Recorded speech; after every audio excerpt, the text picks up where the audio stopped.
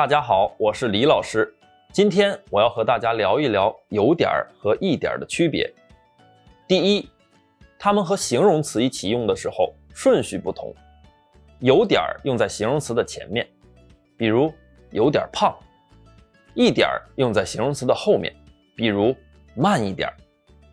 第二，意思不同。有点儿表示不好或者不满意，比如有点热；一点儿表示发生的变化，比如你瘦一点了，或者希望发生的变化，比如可以快一点吗？第三，一点儿的后面可以用名词，比如我想要一点水果。好了，有点和一点儿，你学会了吗？下面有一些问题，请在留言区回答哦。再见。